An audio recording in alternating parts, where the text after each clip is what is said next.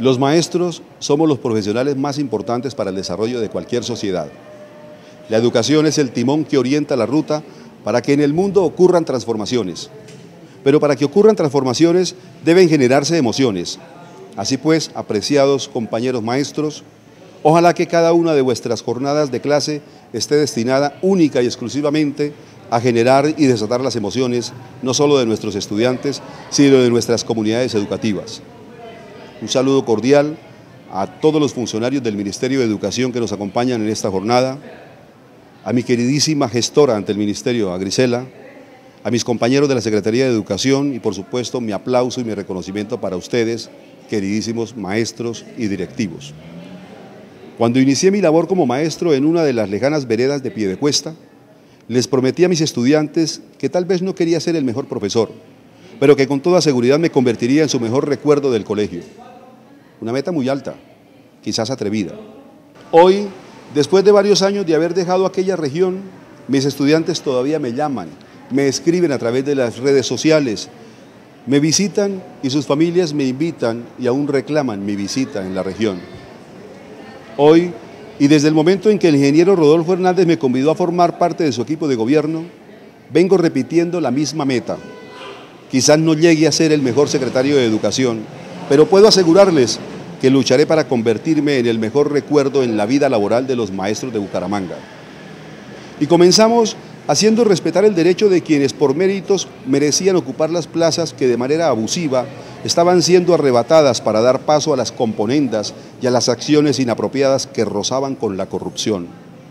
Pusimos al descubierto más de 70 plazas docentes que habían sido ocupadas sin la existencia de un acto administrativo legal que avalara tales nombramientos descubrimos más de 20 personas vinculadas a la nómina de los docentes, pero que nadie supo dar razón de dónde estaban trabajando.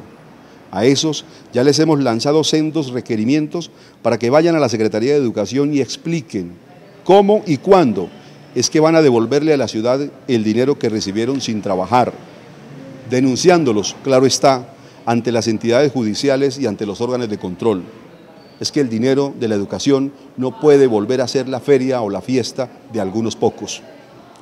Fue así como logramos despejar la planta docente y vincular a más de 100 compañeros de la lista de elegibles que venían reclamando con justo encono que se les respetara el derecho adquirido por sus méritos.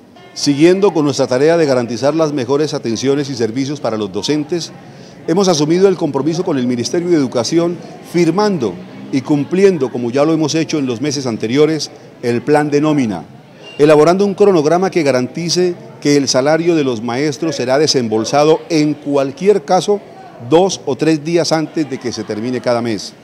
Estamos aprovechando todas las instancias departamentales y nacionales para hacer alianzas estratégicas que nos permitan optimizar los recursos de la Secretaría de Educación en beneficio de los maestros. Asimismo, dentro de los acuerdos firmados con el Gobierno Nacional, Hemos asegurado los recursos financieros que nos permiten garantizar 340 becas de maestría para los docentes de nuestra ciudad, además de un ambicioso programa de formación continuada con universidades certificadas en calidad.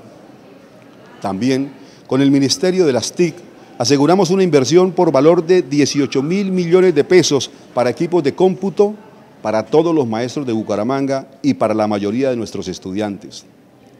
No habíamos cumplido el primer mes de gobierno y ya habíamos asegurado más de 63 mil millones de pesos para el mejoramiento de la infraestructura educativa que nos permitirá disfrutar de más y mejores ambientes escolares. Estamos convocando a reuniones periódicas de trabajo con docentes de diferentes áreas para consultarles cómo es que debemos orientar la destinación de los recursos financieros para que realmente se adquieran equipos, materiales y herramientas que faciliten el desempeño de nuestra labor y que nos garanticen que como maestros podamos desarrollar nuestra tarea con la pasión que nos asiste y que muchas veces se nos quiere apagar porque en la mayoría de los casos nos toca trabajar con lo que el gobernante de turno quiera mandar a los colegios y no con los insumos que ofrezcan libertad para desarrollar nuestras habilidades. Se me ha convertido casi que en una obsesión pedirle a quien toque y buscar de donde sea los recursos financieros para conseguir que Bucaramanga pueda tener en la mayoría de sus instituciones educativas las mejores salas de profesores. Ayer comenzamos a liderar la organización de los Juegos Deportivos Interdocentes, Queremos que la participación sea masiva, porque todos tenemos los mismos derechos. Por eso será una serie de jornadas de corte recreativo, sin descuidar, claro está, a los deportistas de alto rendimiento que habrán de representarnos en los torneos regionales y nacionales. El Instituto para el Deporte de Bucaramanga, Inderbú, se encargará de ofrecer el acompañamiento permanente, brindando no solo los elementos deportivos que se requieran, sino acompañando con técnicos y entrenadores de talla nacional todo el proceso de selección, entrenamiento y preparación para que nuestros maestros deportistas sigan destacándose y ofreciéndole a la ciudad los honores y la gloria que nos han ofrecido. También esta semana comenzamos a diseñar el cronograma de lo que será el Encuentro Nacional del Arte Maestro.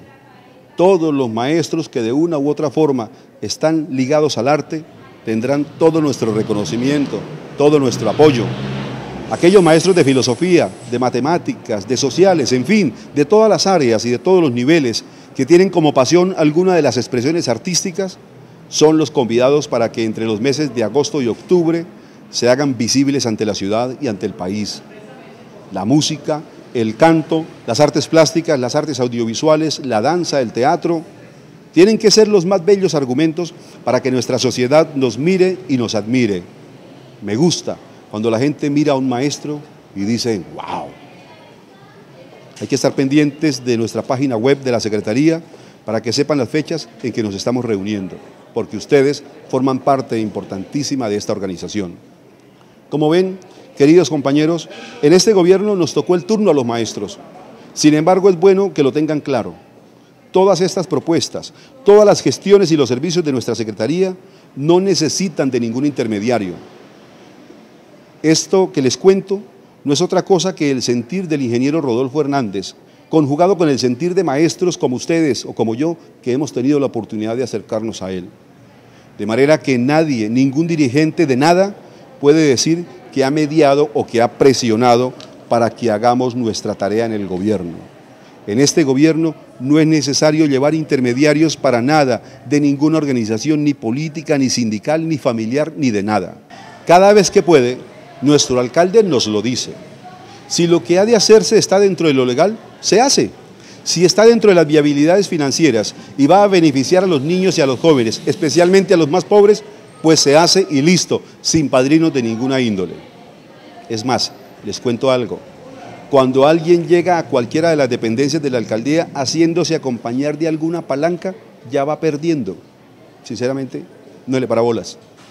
Y es porque sencillamente queremos seguir haciendo las cosas con respeto, con transparencia, de frente y de cara a la ciudad, con acato a las normas y a las leyes, con garantía de igualdad para todos.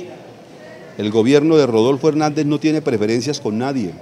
Por eso, ahora los docentes no necesitan padrinos ni palancas para ser escuchados o para ser atendidos.